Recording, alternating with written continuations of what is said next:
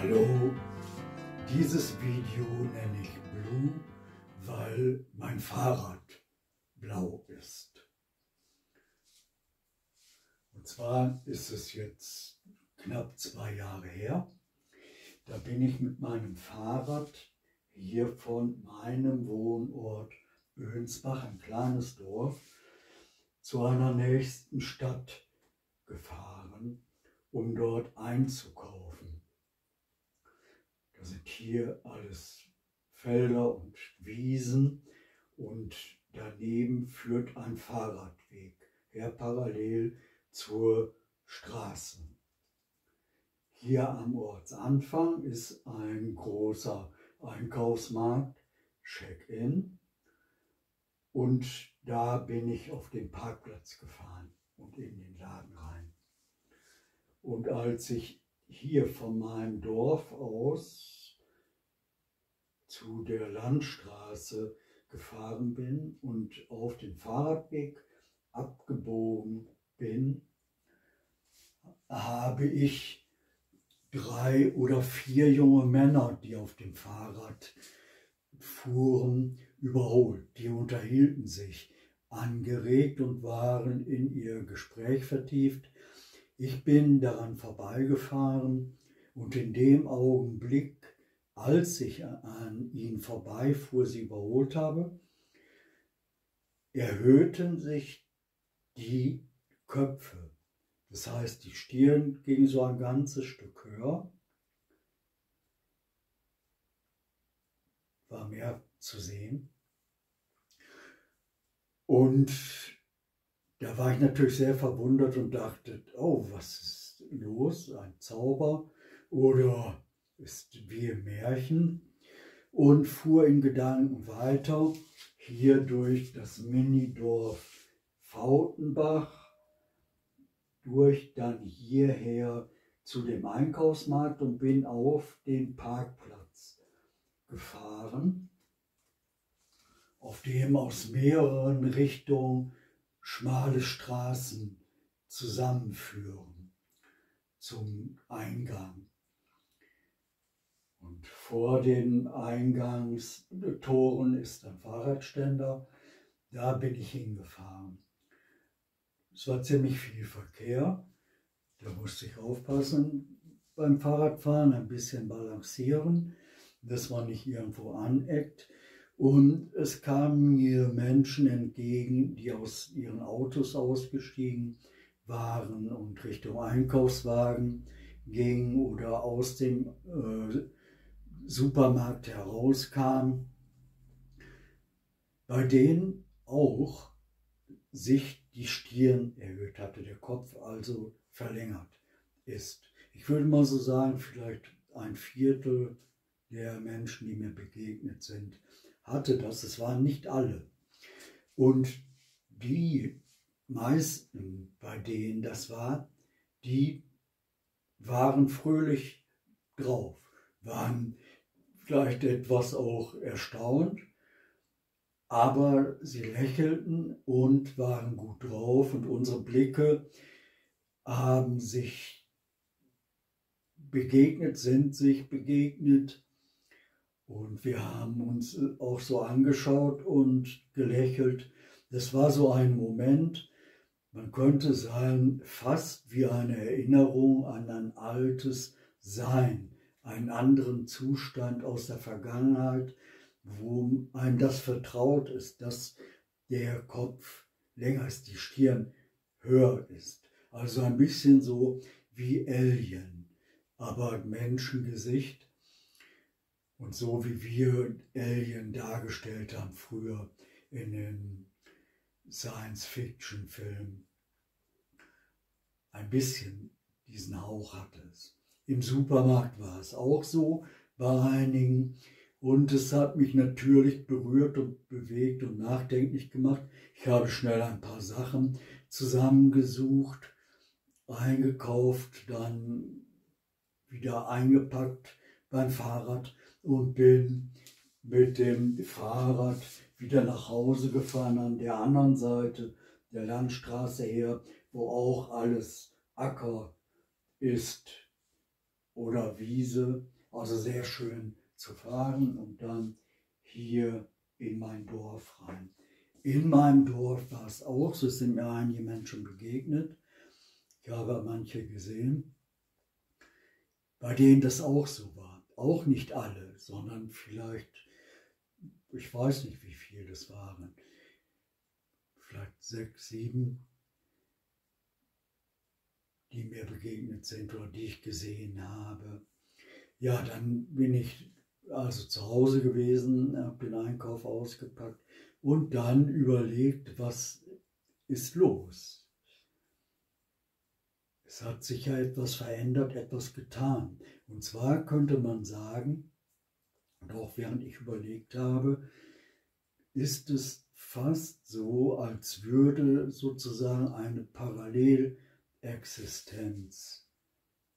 da sein,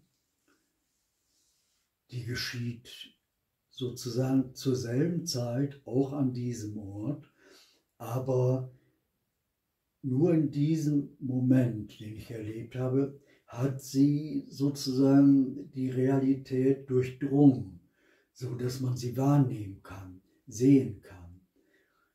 Das heißt, dieser erhöhte Kopf ist vielleicht immer da, nur wir sehen ihn nicht und er ist für unser Dasein auch nicht fassbar, existiert aber. Oder es ist eben nur eine Erscheinung für diesen Moment gewesen. Auf jeden Fall, es ist etwas da, parallel. Es war wohlgesonnen, alle waren auch gut drauf, die etwas erlebt haben. Manche waren an dem Supermarkt erst also nachdenklich und verwundert und dann lächelten sie aber auch. Dieses ging von dem einen Nachmittag oder Mittag, dauerte dieser Zustand an bis zum nächsten Tag etwa gegen Mittag. Das heißt, zu Hause sah ich auch noch in der Nachbarschaft Einzelne, bei denen das auch war und wo ich dachte, oh, auch ein Alien sozusagen oder wie man es nennen soll.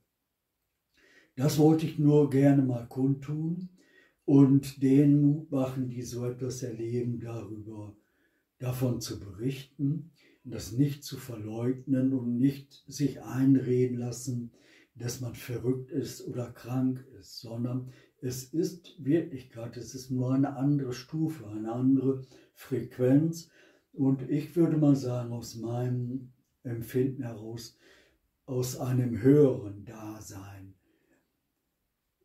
gekommen, sozusagen. Und durchaus eigentlich altbekannt, man kann sich quasi, man ist nicht erschrocken oder so, sondern ja, man nimmt es zur Kenntnis, als hätte man einen bestimmten Punkt erreicht, als hätten sich alle Umstände, alle Faktoren optimiert und zusammengefügt, dass man dieses Erleben haben konnte.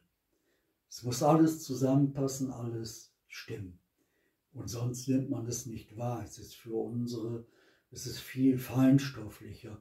Es ist für uns nicht wahrnehmbar im Alltag. Ja, das wollte ich gerne äh, sagen, dass ich das erlebt habe und ich weiß, es gibt also etwas, was parallel geschieht. Ich habe auch von manchen berichtet, wo manche gerne mir sagen möchten, es ist äh, ein Krankheitszustand oder so gewesen, aber ich habe es, es geht ja nicht nur mit den Augen, sondern man hat ja auch etwas empfunden. Und das habe ich bei meinen Erlebnissen auch und auch bei diesen Begegnungen hier an dem Supermarkt ist es ja nicht nur über die Augen, sondern es gibt ja auch eine Kommunikation. Man lächelt sich so an und man kommuniziert irgendwie. Es ist ein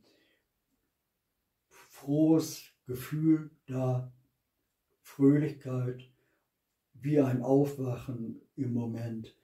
man grüßt den anderen, ohne jetzt irgendetwas zu sagen, sondern der Blick grüßt und identifiziert ein als quasi, ja, Mitgeselle. Das war sehr schön und ich weiß dadurch, ist mir klar, es geschieht viel, viel mehr, als wir wissen und als uns die Medien vermitteln. Und vermutlich ist es so, es baut sich jetzt etwas aus, auf, weil alle auch kosmischen Faktoren und die irdischen Faktoren einen bestimmten Punkt erreicht haben, in dem das möglich ist. Es baut sich etwas auf und präsentiert sich etwas, wo mir auch völlig klar ist, es wird alles neu werden, es wird sich alles verändern. Es ist jetzt nicht so, das war jetzt einmal geschehen und jetzt geht es die nächsten tausend Jahre so weiter wie bisher, sondern auch die Erde präsentiert sich neu. Anders würde, so würde ich es mal formulieren dass auch die Erde einen Zustand erreicht hat, wo sie einschreitet, in, eingreift in das Geschehen und auch sozusagen die himmlischen Kräfte greifen ein. Ich bin mal gespannt, was geschehen wird, was alles kommen wird und möchte nur allen Menschen Mut machen, Glaubt daran, was ihr seht, wenn ihr das auch fühlen könnt, Emotionen habt, so dass man sagen kann, es kann nicht einfach nur eine Fata Morgana sein, sozusagen eine optische Täuschung, sondern da geht ja auch etwas ab. Man kann es nur niemandem erklären, das ist das Dilemma. Man kann im normalen Alltag mit niemandem darüber reden, diejenigen, denen man das erzählt, die tun es ab, als wäre man entweder verrückt oder in einem Krankheitszustand gewesen. Und darum ist man auf sich selbst zurückgeworfen. Was schön ist, ist, dass man im Internet in letzter Zeit vermehrt Berichte hören kann, sehen kann, von Menschen, die Ähnliches erlebt haben, dann ist es wieder auch beruhigend und ja, wo man weiß, ja, es geht etwas ab, es geschieht etwas. Jetzt haben wir 2023 und von meinem Gefühl her insgesamt gehe ich mal davon aus, es wird noch sich einiges offenbaren, allein schon in diesem Jahr. Davon gehe ich mal aus und dass es wieder irgendwelche Begegnungen gibt. So, das wollte ich jetzt sagen. Mein Fahrrad ist blau, mein Hemd ist auch blau, meine Hose ist auch blau. Ich bin aber nicht blau. Und weil mein Fahrrad blau ist, mit dem ich gefahren bin, nenne ich dieses Video Blue. Ja.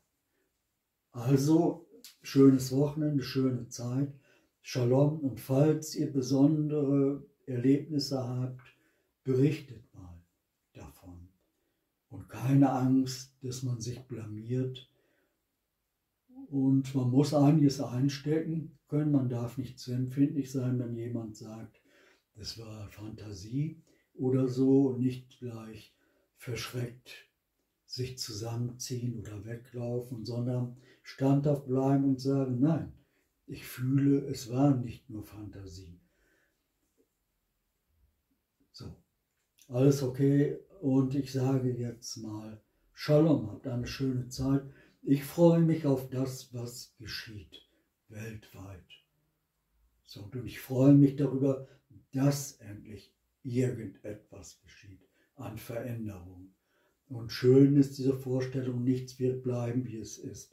Das finde ich, das ist schön, sondern wir kommen, so glaube ich, auf eine höhere geistige Ebene und betrachten auch unseren Planeten von einer höheren geistigen Ebene und kommen auch dazu, unseren Planeten mehr zu würdigen, wahrzunehmen, die Würde der Erde zum Beispiel.